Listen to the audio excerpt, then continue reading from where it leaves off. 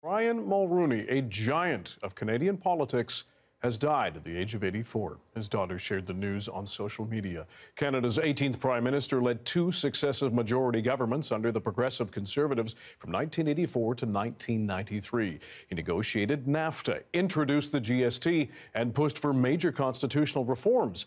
He also fought against apartheid and acid rain and left office deeply unpopular. Chief political correspondent Rosemary Barton takes a look back at his life, his time in office, and why he evoked such strong emotions for so many Canadians. His very first foray into politics to become leader of the Progressive Conservative Party brought him a bitter loss. He channeled that bitterness into another leadership run seven years later. That time, he won handily and renewed the Progressive Conservative Party of Canada with the largest majority in Canadian history at the time. Brian Mulroney created deep loyalties with those around him in unifying the party. Some of those loyalties were later tested and lost. Mulroney came from the small town of Baie-Comeau on the north shore of the St. Lawrence River. Remote and isolated, he grew up in an Irish Catholic family, the son of an electrician at the local paper mill. But his ordinary upbringing was quickly overtaken by his extraordinary life. A close friendship with then U.S. President Ronald Reagan, what many saw as an attempt to change the relationship between Canada and the United States and a first step towards a free trade agreement between the two countries, something Mulroney had initially opposed.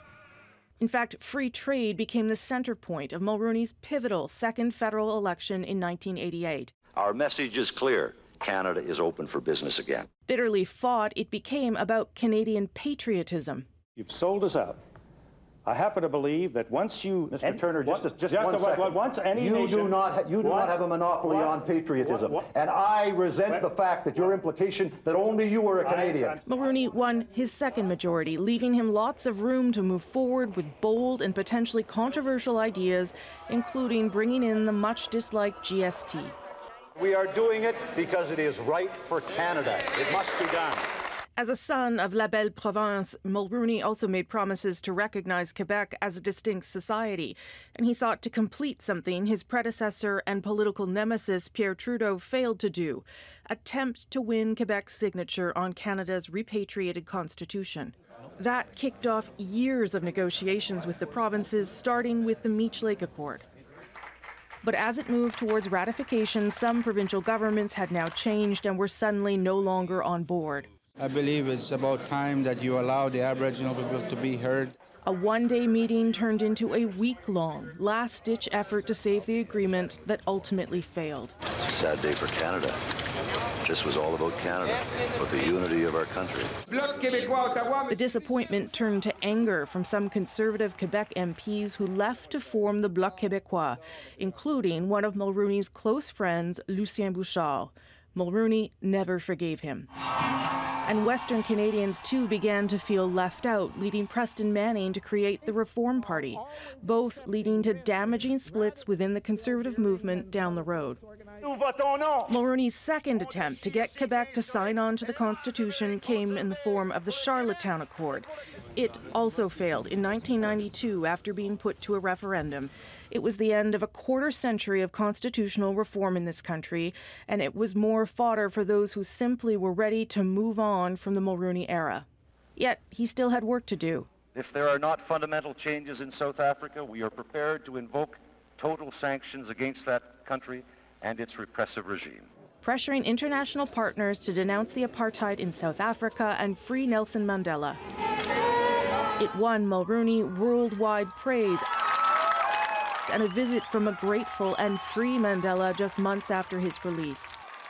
Mulroney signed the Acid Rain Accord with the United States in 1991, earning him kudos from environmentalists. But Canada had wearied of Mulroney after a turbulent nine years, and he left politics in 1993. I always tried to do what I thought would be right for Canada in the long term, not what could be politically popular in the short term. What followed was the start of a long Liberal reign. His successor, Kim Campbell, managed to win only two seats. His years after politics were marked with some embarrassing legal battles, including questions about his relationship with the German businessman Karl Heinz Schreiber. Resulting in an inquiry, Mulroney did admit to accepting a quarter of a million dollars from Schreiber for consulting. I was fighting for my life and the honor of my family. The inquiry found the former prime minister's dealings with Schreiber were inappropriate and not ethical. Mulroney called it the worst mistake of his life and set to rebuild his reputation. Conservatives once again sought his counsel or his blessing, and the Liberal successor to his old foe, Prime Minister Justin Trudeau, counted on his advice during negotiations around NAFTA 2.0 even in the moments when Mulroney knew he was strongly disliked by many Canadians for his decisions, he believed strongly in why he was doing it. In the fullness of time, history, and a more reflective nation will tell us whether our hopes for the ultimate success of these policies were in fact realized. Mulroney marked the history of this country time and time again, and now in his passing, Canadians may reflect on just how much he gave and how much he changed their country.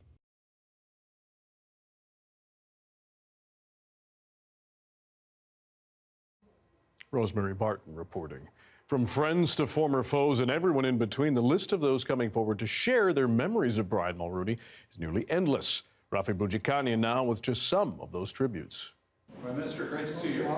One of Brian Mulroney's oldest opponents, but Jean Chrétien revealed shouting across the political divide was years behind them.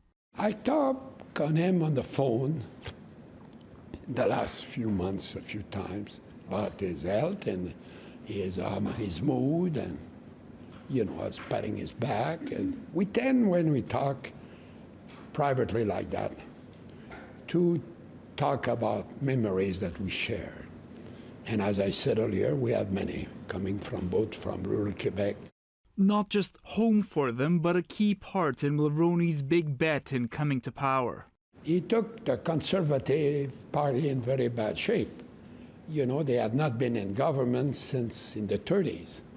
And he built it back, but his greatest success was to break in Quebec. And, uh, and it was, uh, it was his argument when he ran, and it turned out to be right. Monsieur le Premier ministre, comment allez-vous? Prime Minister Trudeau, who saw Mulroney last summer at one of his last public events, also praised him and noted how he has relied on his advice far past when Mulroney held office. He was incredibly generous and effective um, in advising me and our government on the renegotiation, renegotiation of NAFTA uh, during some very challenging years uh, where not just the advice and strategic counsel he gave me and us, but also active with uh, his contacts as part of Team Canada to make sure that the messages on how important the friendship and the relationship between Canada and the U.S. was, not just for Canada but the U.S., was key. And deeply so by one of his former MPs who visited him in Florida last weekend he was very weak, but already at that time he he said to me, you know, I, I, I'm not sure I'm going to finish the year. And I tried to convince him of the contrary, telling him, listen, you, you know, this is the 40th anniversary of the election of his government, and uh, and that he had in front of him uh, a number of events that we needed to organize to celebrate his legacy. The party's current leader posted his thoughts.